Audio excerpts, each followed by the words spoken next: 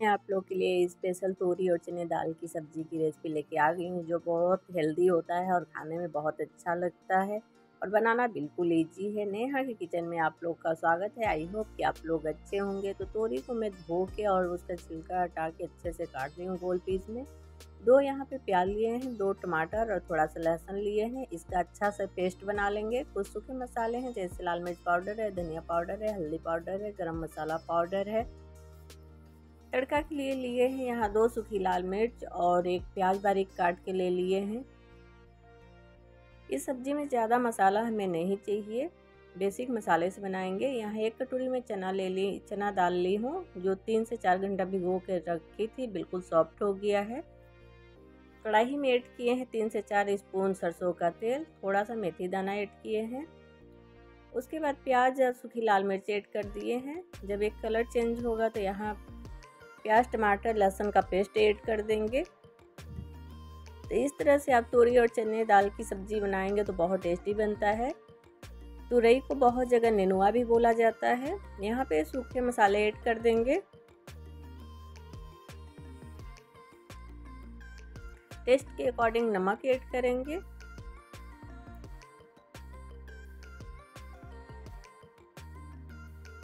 मसाले को अच्छे से भून लेंगे। तेल सेपरेट होगा तो चना दाल ऐड कर देंगे और अच्छे से मिक्स करेंगे।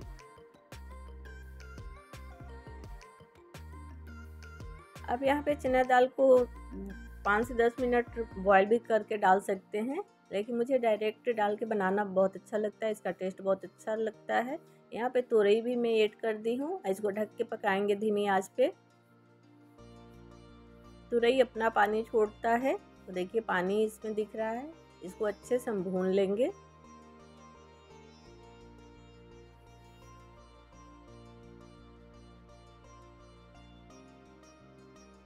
इसमें पानी काफ़ी है, लेकिन चना दाल हम डाले हैं तो थोड़ा सा पानी ऐड करेंगे और धीमी आँच पे पकाएँगे। थोड़ा सा पानी ऐड करने से ये होता है कि लंबा टाइम तक पकता है तो सॉफ्ट हो जाता है बिल्कुल चना दाल। बीच बीच में चलाते रहेंगे। और आप लोगों से एक प्यारी सी रिक्वेस्ट है, अगर मेरी वीडियो आप लोग को थोड़ी भी अच्छी लगती है तो लाइक करिए सब्सक्राइब करिए शेयर करिए कमेंट करिए। तो अपनी सब्ज़ी कुछ बन के इस तरह से तैयार हुआ है तो चलिए कर लेते हैं प्लेटिंग इस सब्ज़ी को आप राइस फुलके, पराठे किसी के साथ इंजॉय कर सकते हैं, और थोड़ा ये ऐसे ही रहता है, रसे वाली सब्ज़ी। बिल्कुल सूखा नहीं इसको बनाया जाता है। बहुत लोगों के घर में बनती होगी ये सब्ज़ी, जिनके घर में नहीं बनती होगी, इस रेसिपी को ज़रूर आप लोग ट्राई करिएगा। ये सब्ज़ी खाने में बहुत अच्छी लगती है। और कमेंट में आप लोग बताइएगा मेरी वीडियो आप लोग कहाँ से देखते हैं, कैसी लगती है।